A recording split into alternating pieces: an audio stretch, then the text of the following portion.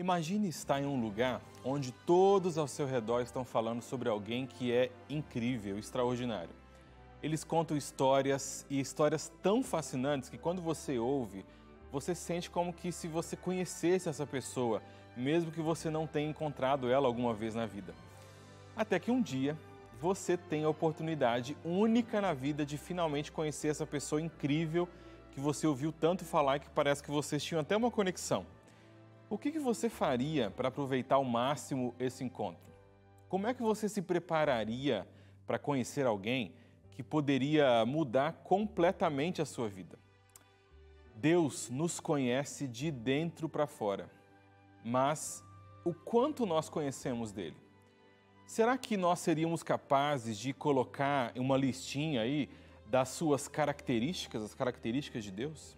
Hoje nós vamos falar aqui de alguém cujo nome é conhecido por muita gente e a sua presença e impacto podem ser ainda mais profundos do que nós podemos imaginar quando nós realmente conhecermos essa pessoa. A gente está aqui para falar hoje de como conhecer verdadeiramente a Deus e a Jesus. Não apenas ouvir sobre ele ou reconhecê-lo de longe, mas conhecer a Jesus pessoalmente, porque Ele é aquele que pode nos dar vida em abundância e pode fazer em mim e você uma transformação genuína. Fique com a gente porque está começando agora o programa Adoração, o seu encontro com a Palavra de Deus.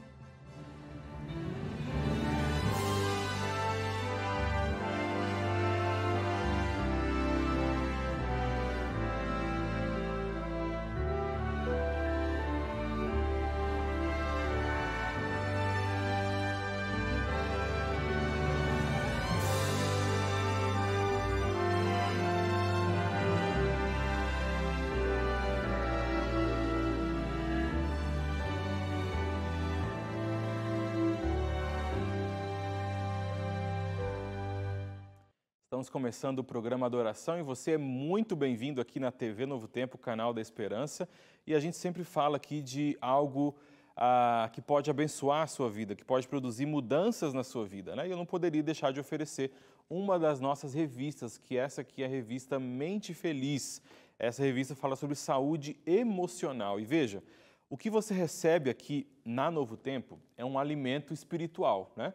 E de muitas formas diferentes, né? Ah, o que Deus, a vontade de Deus para a sua vida física, sua vida mental, emocional e também espiritual, né? E neste material que você está vendo aí, a revista Mente Feliz, você vai descobrir como alcançar a liberdade da sua ansiedade. Sabe aquelas questões que nos tiram o sono? A palavra de Deus nos diz que a gente não pode andar ansioso por coisa alguma. Pelo contrário, ao invés de ficar ansioso, a gente deve apresentar diante de Deus qual é, a nosso, qual é o nosso pedido, aquilo que nós precisamos. O remédio para a ansiedade é a confiança em Deus. E por meio deste material você vai aprender a como desenvolver essa confiança em Deus. Mas é bem verdade que quando a gente está nessa jornada de vencer a ansiedade, de melhorar a nossa comunhão com Deus, a gente às vezes precisa de um auxílio, né? E além do auxílio que você vai receber, aqui nos oito capítulos dessa revista, falando sobre diversos temas dentro desse aspecto de saúde mental, ansiedade, né? Você pode também entrar em contato com a escola bíblica para receber aconselhamento. Sabia que a nossa escola bíblica tem uma equipe especial e específica ali para aconselhamento? Exatamente. Se você entrar em contato pelo número 12 21 27 31 21, você vai falar com a escola bíblica e você vai, você vai dizer assim: olha, estou acompanhando a Novo Tempo e eu gostaria de falar com alguém, de conversar com alguém, de tirar uma dúvida bíblica, ou de falar sobre algum questionamento que eu tenho da minha vida, ou de pedir um conselho, enfim. Entre em contato com a gente por esse número aí, o número fixo, né? 12 21 27 31 21, e você vai ter condições de falar com um dos nossos conselheiros. Se você quer pedir a sua revista Esperança, liga para a gente no mesmo número, tá? e a gente vai enviar ela para você sem custo algum. Se você preferir fazer o seu pedido pelo WhatsApp, você pode entrar em contato com a gente também pelo 12 98244 4449. Esse é o WhatsApp da Escola Bíblica por meio do qual você vai poder fazer a sua, o seu pedido, tá? Quando você mandar uma mensagem, você vai receber ali um link para você fazer o seu pedido da, da revista, né? Se você, ah, eu não quero usar o site, não sei usar o site, não tem problema. No WhatsApp mesmo, escreva lá, olha, eu gostaria de fazer o meu pedido da revista aqui mesmo no WhatsApp. E você vai ser orientado aí por um dos nossos consultores, né? Para que ele direcione você, pegue o seu endereço, seus dados certinho para fazer esse envio. Mas não deixe de pedir, tá? É uma grande bênção para você e para sua família também. Bom, hoje vamos falar sobre conhecer a Deus, conhecer a Jesus. Como é que funciona isso? Como que é possível e por que que é importante, né? E para isso eu quero convidar você para fazer uma oração, para pedir a bênção de Deus e a sua presença ao abrirmos a palavra, ok? Ore comigo. Senhor, muito obrigado pela oportunidade que o Senhor está nos dando de estudar a Sua palavra, Pai. Obrigado pela liberdade que nós temos aqui de abrir ela livremente e ouvir do Senhor aquilo que o Senhor tem para nos ensinar. Ilumine cada pessoa que está nos acompanhando agora na TV, que este momento possa ser um momento de partilha, de compartilhar, Pai, não só conhecimento, mas que a gente compartilhe aqui, Senhor, é a essência da palavra que o Senhor quer nos dizer hoje. Esteja conosco, nos abençoe, em nome de Jesus. Amém. Muito bem. Eu quero convidar você para já abrir a sua Bíblia aí em João, no capítulo 17. A gente não vai ler agora, mas enquanto eu vou te dando um pouquinho do contexto aqui dessa, dessa passagem, você vai abrindo a sua Bíblia, tá? Então, João, capítulo 17. Veja, aqui em João, capítulo 17, João termina em alguns capítulos depois, né? O livro já acaba, mas aqui quem está falando é Jesus, né? E aqui é uma conhecida oração que ficou conhecida ao longo dos, dos tempos como a oração sacerdotal de Jesus. Jesus, ele havia falado aos seus seguidores sobre a sua missão nos capítulos anteriores. E ele sabia que o seu tempo estava chegando. E ele, nesse momento, começa a fazer uma despedida. Inclusive, se você olhar no capítulo anterior, você vai ver que até o subtítulo ali da, da dessa perícope é justamente a despedida de Jesus, né? E depois desses momentos específicos, Jesus ele se levanta. Imagine a cena, Jesus se levanta ali com seus seguidores, ele olha para o céu e ele começa a fazer uma oração para o Pai. E essa oração, como eu disse, foi conhecida como a oração sacerdotal de Cristo. Nessa oração de Jesus, ele intercede por si, porque ele sabia o que, que ele iria passar, né? Daqui a algum, algum tempinho. Então ele pede por ele, mas ele pede também pelos seus discípulos. E além de pedir pelos seus discípulos, ele pede até pelas pessoas que haviam um dia de crer. Então é uma oração bem completa, né? E eu fico pensando nesse momento de despedida de Jesus, né? Nossa, é, são meus últimos momentos, então, Pai, cuida de mim nesses momentos, cuida dos meus discípulos que estão pertinho de mim, cuida daqueles que eu nem conheço e nem te conhecem ainda, mas vão acreditar em Ti no futuro. É uma oração linda que eu recomendo você a ler também.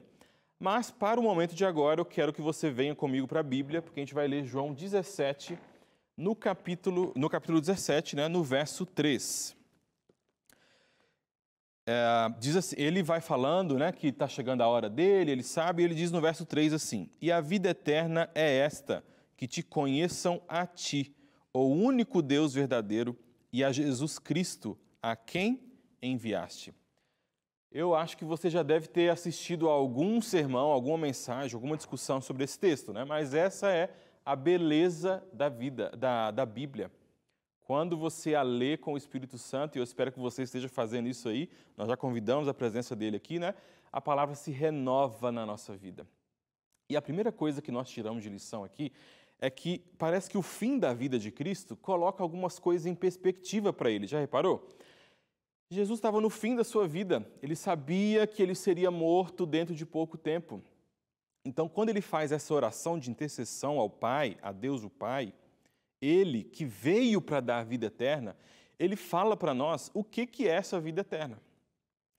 É como se depois de todo o seu ministério, depois de ter falado sobre sua missão, sobre o que ele veio fazer, depois de ter curado, abençoado as pessoas, ele agora resumisse o que de fato é a vida eterna e o que ele veio trazer para o mundo. Sabe, muitas vezes a gente complica a nossa vida cristã. Nós perdemos tempo, às vezes, com coisas que não contribuem para a nossa vida espiritual. E eu te pergunto: o que você tem feito para perder tempo? Com o que você tem perdido o seu tempo? Será que você não está faltando um certo foco para você? Porque quando a gente, quando a gente entende o que realmente importa, quando a gente olha para o céu, quando a gente olha para o futuro glorioso que a gente vai ter com Jesus, não tem como, meus amigos, não tem como a gente não colocar a nossa vida em perspectiva. O que é isso, pastor? Colocar a nossa vida em análise. Será que o que eu estou fazendo é prioridade mesmo? E eu diria a você que conhecer Jesus tem que ser a nossa prioridade máxima. E aí eu complemento, né? Porque conhecer Jesus é mais que uma experiência rasa, como a Bíblia vai dizer em muitos momentos aqui. E eu quero analisar bem com você esse verso 3, porque conhecer Jesus é muito mais do que uma experiência rasa. Jesus aqui resume, né? O que é essa vida eterna. Mas o que fica é: o que é conhecer Jesus?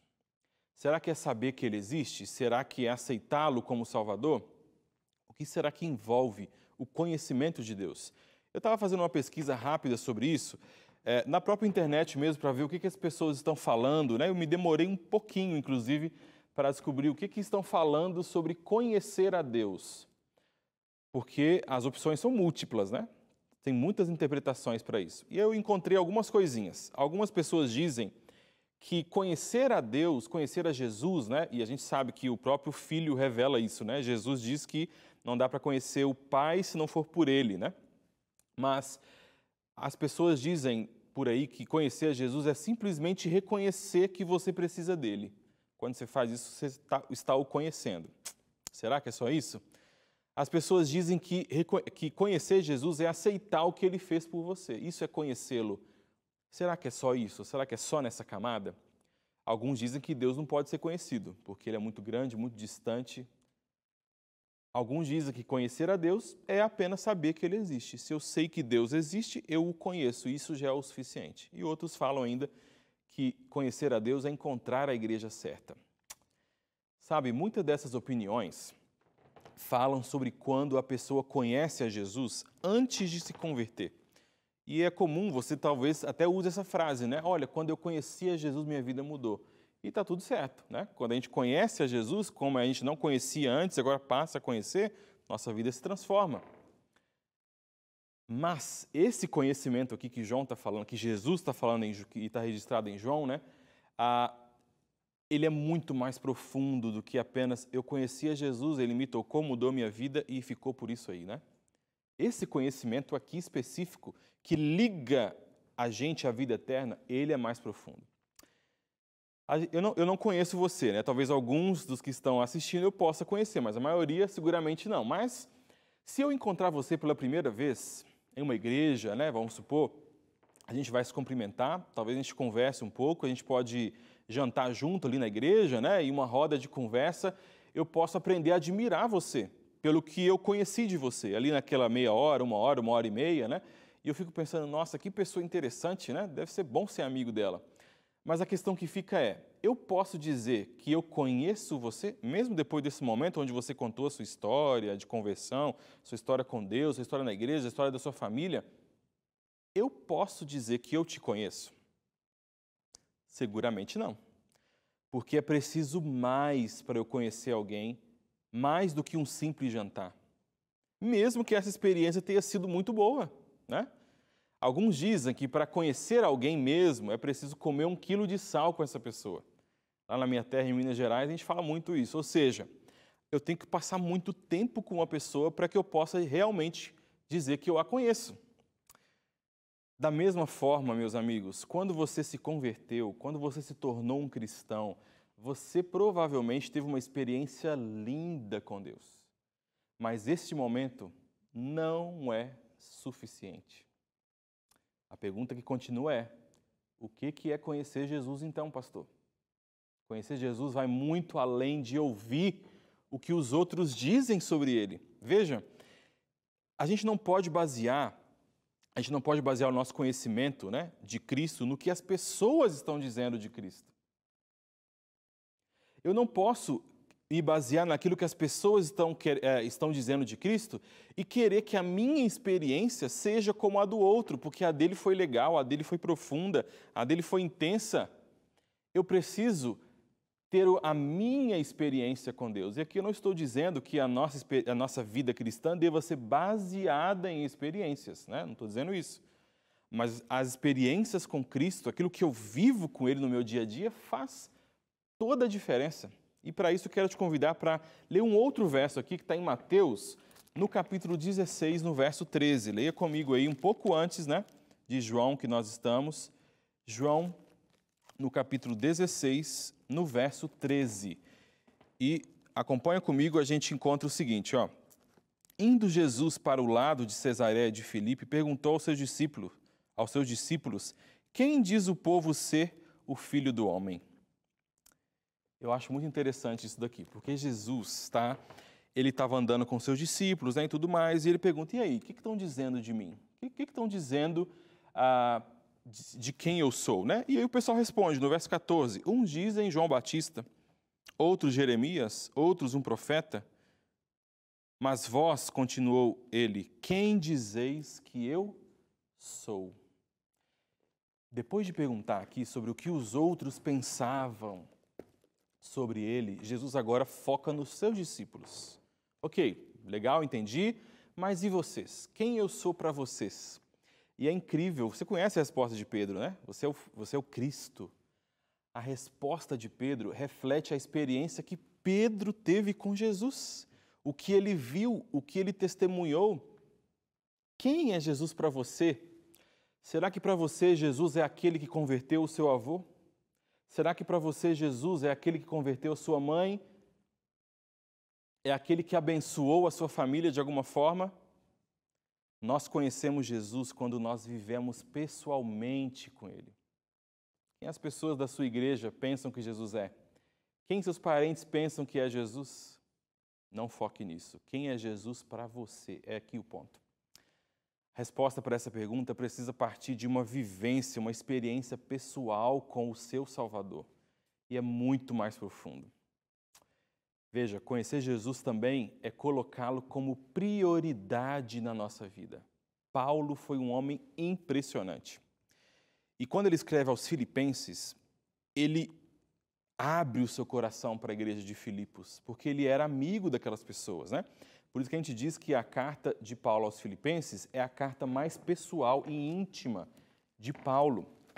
Ela e junto com Filemão, né, que também tem essa característica.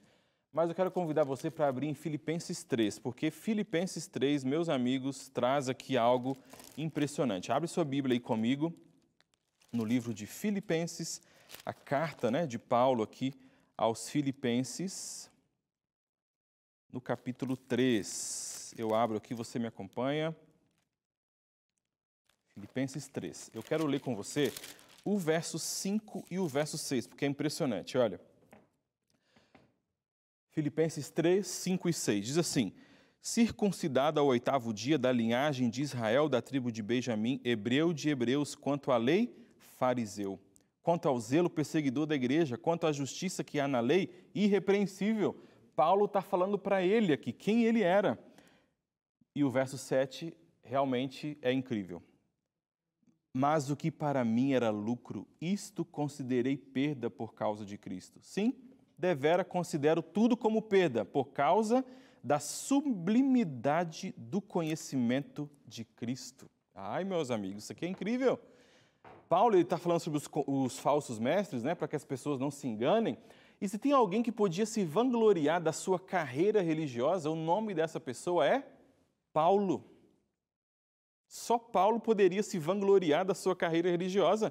Mas ele, quando ele olha tudo que ele conquistou, tudo que ele fez, todas as suas credenciais, todo o seu mérito, ele olha, olha, ele, ele fala, olha, realmente, isso aqui é perda, comparado, isso aqui é nada, comparado a quão sublime, quão incrível e maravilhoso é conhecer a Cristo.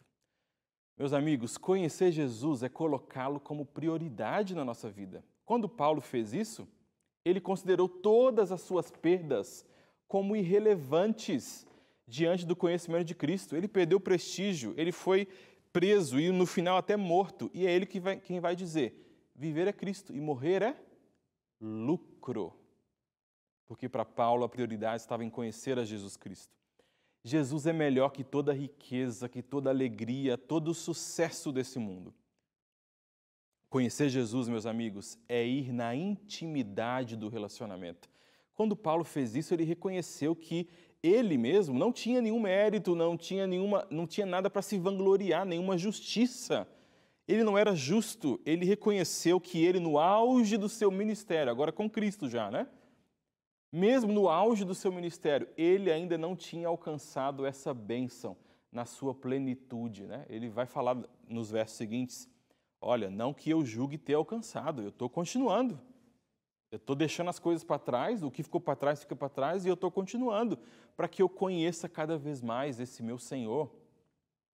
Ele estava alegre e feliz de seguir essa carreira. Isso é incrível. Quanto a gente pode aprender com Paulo? Meus amigos, conhecer Jesus é uma jornada longa, mas é muito prazerosa, até que a gente possa abraçá-lo no céu. Sabe de uma coisa? Jesus te convida a ter um relacionamento de intimidade com Ele. Só assim você vai ter condições de, assim como Paulo, tomar as decisões que você precisa. Paulo teve que deixar muita coisa para trás para seguir a Cristo. E o que motivou ele a, a, a, fazer isso foi a intimidade que ele tinha com Cristo. Deus, eu estou íntimo do Senhor aqui por meio do seu Filho Jesus, então vem comigo, eu vou tomar as minhas decisões e vamos juntos. Isso é incrível. Reconhecer quais são as verdadeiras prioridades da sua vida e não viver mais correndo atrás do vento é uma das coisas mais incríveis que a gente pode viver. E a gente deveria buscar esse conhecimento de Deus que Paulo fala mais do que comida e mais do que bebida, meus amigos. Mais do que comida e mais do que bebida. Eu quero ler novamente aqui João 17 com você, para focar agora nessa intimidade do relacionamento, né, de alguém que está em busca de conhecer a Deus. Veja, João 17,3, qual que é a palavra utilizada aqui por Jesus? E a vida eterna é esta, que te conheçam, que te conheçam a ti, o único Deus verdadeiro, e a Jesus, a quem enviaste. E aqui eu quero chamar a sua atenção, porque aqui o que está dizendo é: a vida eterna é conhecer Deus. A vida eterna é conhecer o seu filho. Essa palavra reconhecer, essa palavra conhecer aqui, ela tem um sentido muito especial. Eu queria compartilhar isso com você de alguma forma. Porque a palavra conhecer aqui tem um sentido de reconhecer, de conhecer na intimidade, de perceber algo profundo. E essa mesma palavra aqui, ela é utilizada para as relações íntimas, né? Quando um homem conhece a sua esposa. Essa relação sexual íntima é, é utilizado o mesmo verbo, conhecer, e é a mesma palavra que lá no Antigo Testamento vai ser utilizada para esse mesmo, essa mesma questão íntima do casal, como está escrito lá em Gênesis 4:1, porque lá diz que Adão conheceu a sua esposa Eva e ela concebeu.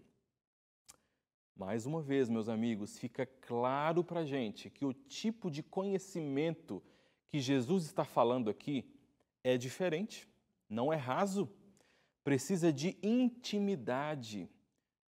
Jesus quer ser íntimo de nós, seus filhos, no sentido de eu conheço cada parte de você e você conhece a mim, os meus atributos, aquilo que eu posso fazer por você, aquilo que eu fiz por você. Isso é o que Jesus quer. É a mesma coisa que a gente encontra lá em João 10, quando diz que as ovelhas, elas escutam a voz do pastor, elas reconhecem a voz do pastor e elas seguem o pastor. Elas não vão seguir o estranho, porque não conhecem a voz dele. Intimidade. Intimidade.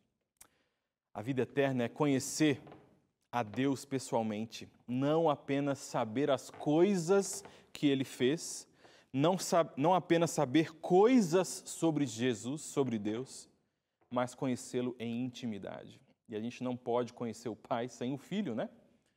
Pois essa é a revelação que a gente encontra na Bíblia. Agora, pastor, entendi que o conhecimento de Deus ele é mais profundo e eu preciso tomar algumas decisões, mas como é que eu posso conhecer a Deus? E aqui eu quero deixar algumas dicas para você, porque assim, não tem segredo, né? Não é fácil. Não é fácil, mas vale a pena buscar esse conhecimento de Deus. Primeira questão é a oração. Porque quando eu oro a Deus buscando isso, como eu disse que a gente deveria buscar isso mais que comida e que bebida, né? quando eu oro a Deus buscando Ele, meu Deus, por favor, me ajude a te conhecer, me ajude a passar tempo contigo, me ajude a estar com o Senhor lado a lado. O Espírito Santo, ele nos conecta a Deus e ele fala no nosso coração.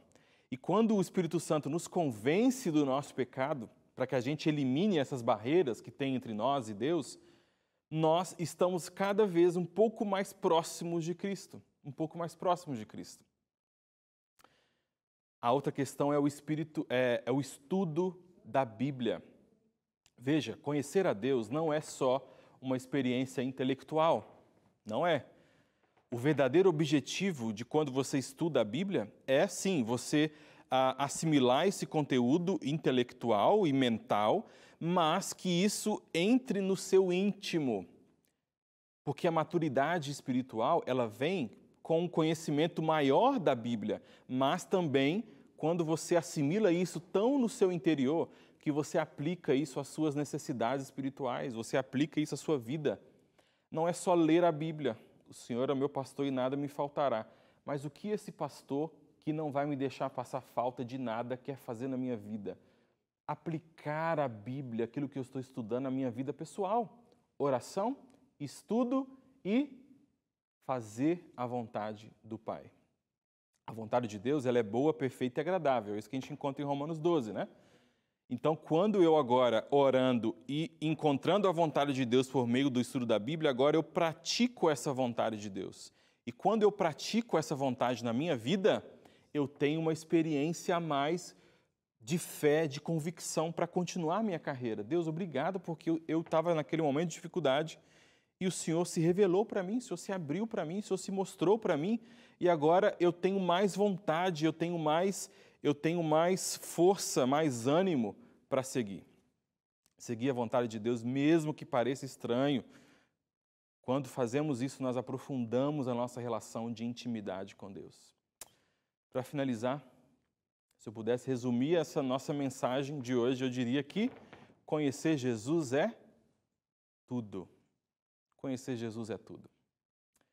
Jesus, nos seus momentos finais, lá no verso 11, ele vai comentar né, que ele já não está mais no mundo, mas os seus discípulos e seguidores continuam no mundo, por isso a sua preocupação e a intercessão, Pai, lá no verso 17, santifica eles na verdade, na tua palavra que é a verdade.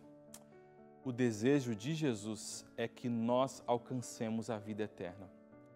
E para isso nós precisamos conhecê-lo. Então veja, conhecer Jesus vai além da conversão. Nós conhecemos Jesus quando vivemos pessoalmente com Ele. Conhecer Jesus é colocá-lo colocá como prioridade na nossa vida. Conhecer Jesus é ir na intimidade do relacionamento. E por fim, conhecer Jesus é tudo. Se você quer aceitar essa bênção, essa verdade na sua vida e ter essa intimidade com Cristo para dizer: Senhor, que alegria eu tenho em finalmente te conhecer. Quero te convidar para fazer uma oração comigo. E nessa oração nós vamos entregar a sua vida e também a minha nas mãos de Deus. Ore comigo. Deus, muito obrigado, Pai, porque é possível te conhecer. Obrigado porque nós podemos, Pai, desenvolver essa relação que Paulo tinha, que Pedro tinha contigo, uma relação de intimidade, onde aquilo que eu digo, aquilo que eu vivo é resultado da minha experiência de vida contigo. Obrigado por isso, Pai. Dê a oportunidade a cada um de nós. Opera em nós o querer e o efetuar para que a gente te busque em oração, em estudo e em vivência contigo, para que a gente te conheça de verdade, Pai. É o que nós te pedimos e agradecemos em nome e por amor de Jesus. Amém.